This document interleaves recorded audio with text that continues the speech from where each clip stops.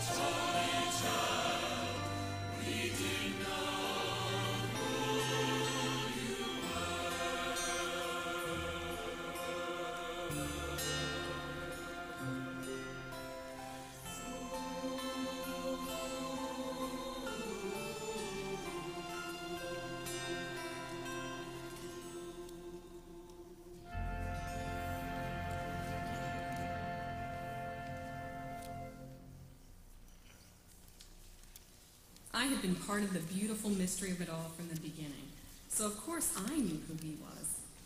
But the world that watched the unfolding of his life would have to decide, apart from any angelic revelation, what to make of Jesus.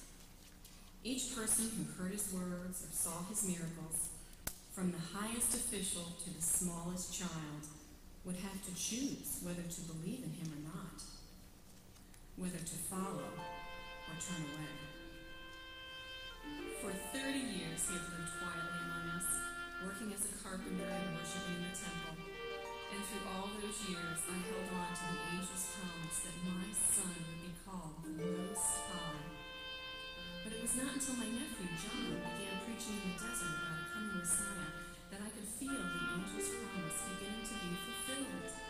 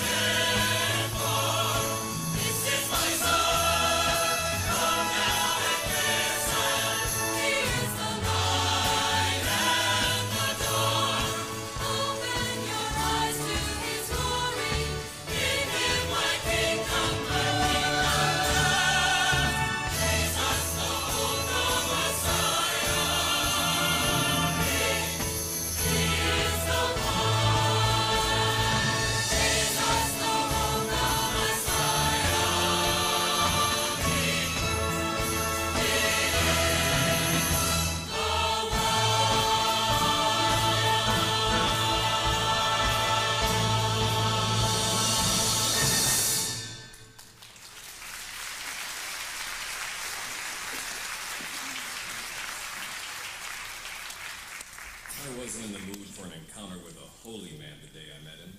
I surely didn't consider myself or any of my friends holy. We had good, solid, predictable lives. Families we loved, work we could depend on.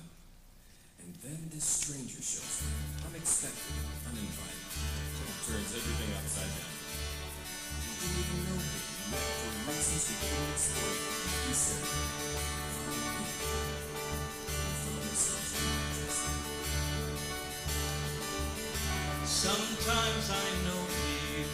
wonder how we believe all we know. Throw down our nets in a moment, turn from our jobs and our homes. His call to us from the seashore, as deep as the call of the sea. Drew us into his adventure and gave us the courage to lead. We follow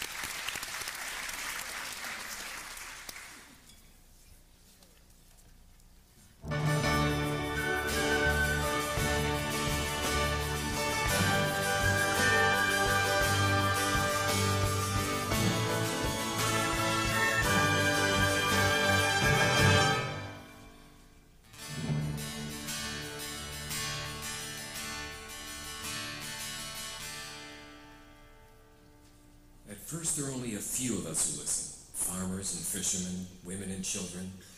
But slowly his following began to grow, and soon he was the talk of the countryside. All through Galilee and Judea, he drew crowds and amazed people with his teaching and his miracles. He healed the sick, the blind, and the lame. He even touched a young boy's lunch and multiplied it into food for thousands. He even raised the dead. But it was more than what he said or did that drew us to him. It was who he was. There was nothing self-righteous or religious about him. He ate with sinners. He laid his hands on lepers. He befriended women. Jesus was a man who genuinely loved people, all people, and they could feel it.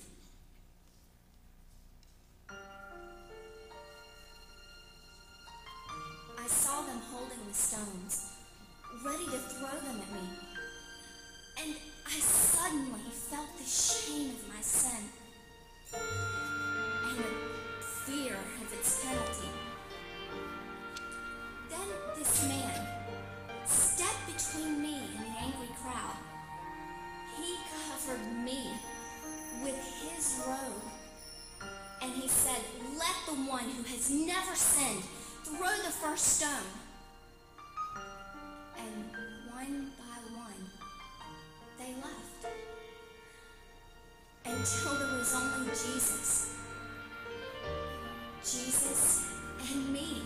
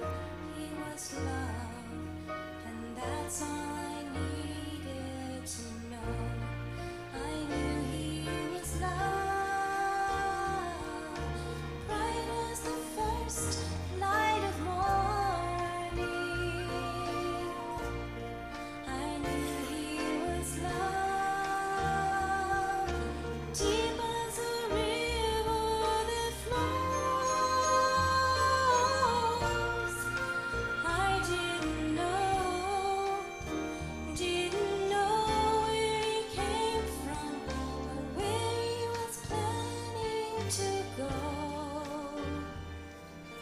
I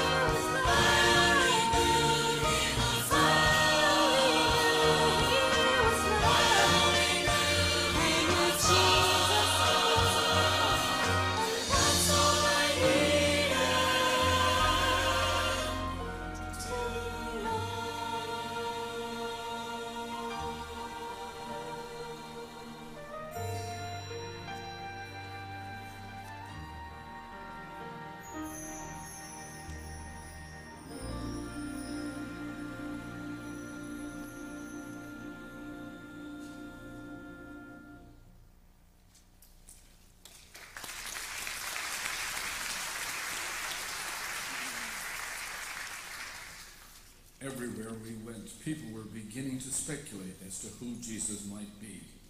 The Pharisees saw him as a blasphemer. The Roman authorities laughed him off as a religious fool. But those of us who were open to him were beginning to know him as a teacher, a healer, a friend. Then one day when we were alone with him, he asked us, Who do people say that I am? That surprised me because Jesus rarely seemed to care about what people thought of him. Some say you're Elijah, one of us answered. Some say a prophet.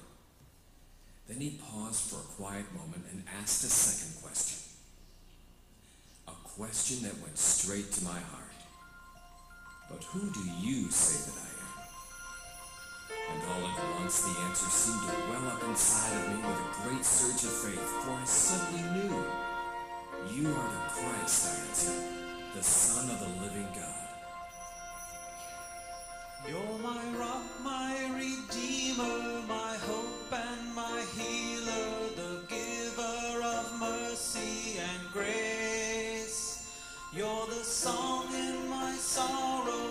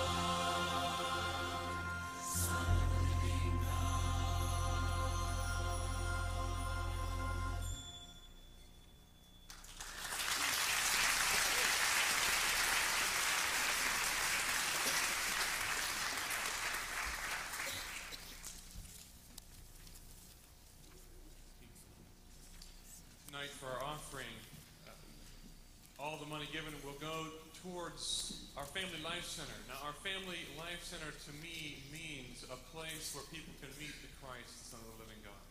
It's simple as that. It's not a building. It's a vehicle that people can come to know Christ and deepen in their relationship with Him. That's what it means to me. So I would encourage you to give generously so we can get rid of the debt, so we can send more money to missions. Amen. Let me pray for our offering. Lord, we do love you. We do love you so much. We do call you Christ, Son of the living God. And Lord, you are the provider. You're the giver of every good gift. Thank you for the good gifts you've given us tonight. And Lord, we do pray that you would use every penny given, Lord, not only to pay off a building, but so that people would meet the Christ, the Son of the living God. In his name we pray.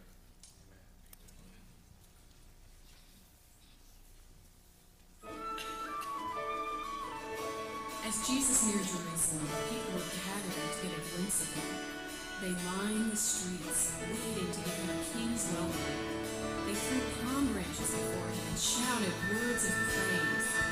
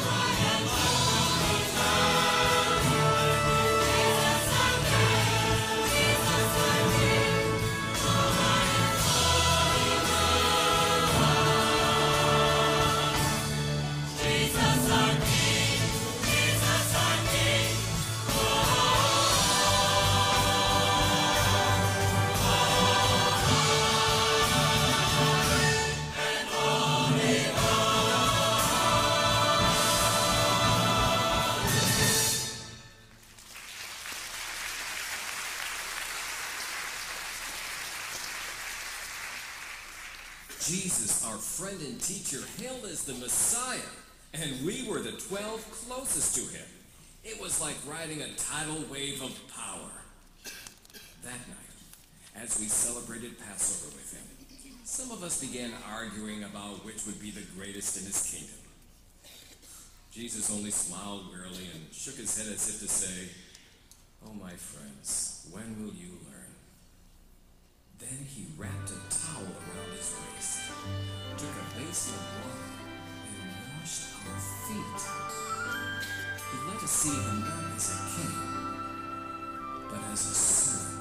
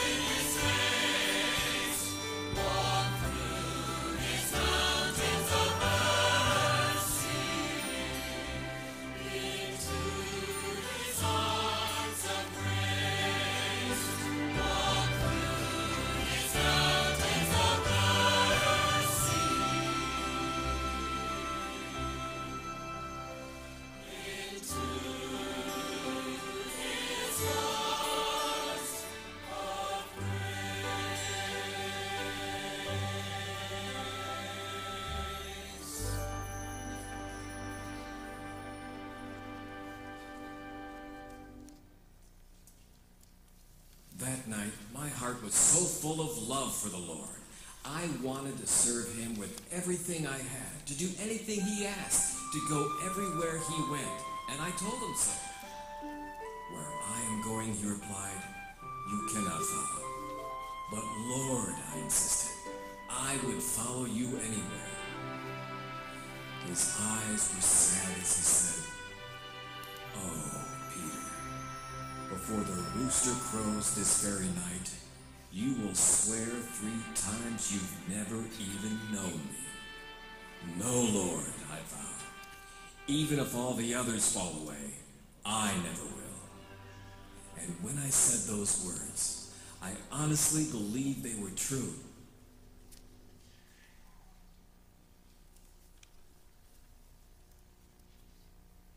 Though Jesus tried to warn us, we couldn't see the danger surrounding us that night.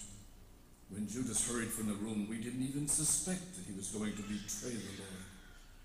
When Jesus asked us to stay awake and pray with him, we had no idea that before the night was over, he would be arrested and on trial for his life. Outside the door where they were holding him for questioning, a servant girl said to me in a loud voice, You're one of his friends, aren't you? No, I'm not. Later, a total stranger pointed his finger at me and said, Aren't you his disciple? For the second time, I swore I didn't know him. Then finally, one of the high priest's servants openly accused me, saying, Didn't I see you in the olive grove with Jesus? No, you didn't. At that very moment, a rooster began to crow, I remembered his words. I remembered my bold promises to stand by him no matter what. And shame, like quicksand, closed around my heart. His trial was a sham. Pilate kept asking him again and again, Are you who you claim to be? Are you the king of the Jews? Until Jesus finally answered, Yes, it is as you say. Then Pilate washed his hands of him and turned him over to the crowds to be crucified. We watched the soldiers strip him and savagely beat him. They robed him in scarlet and crowned him in thorns, mocking him and spitting on him and forcing him to carry a huge cross on his bleeding shoulders to a hill called Calvary. There, they nailed him to that cross and fastened above it a plaque that said, This is Jesus, the King of the Jews.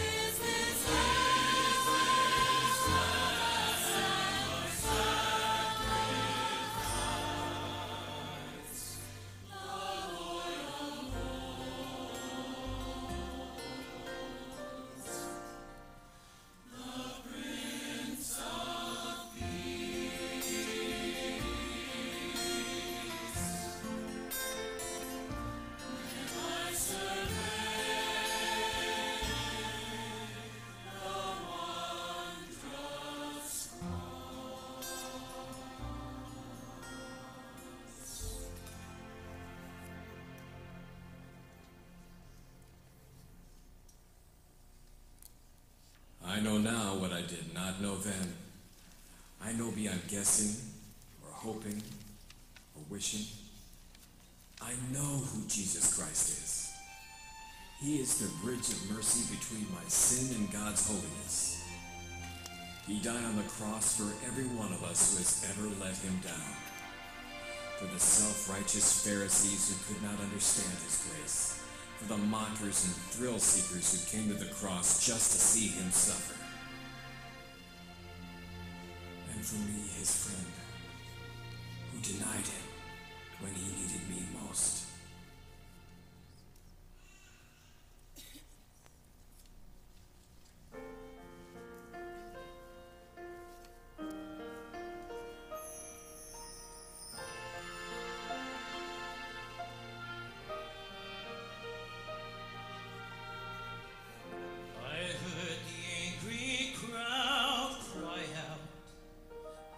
His holy name.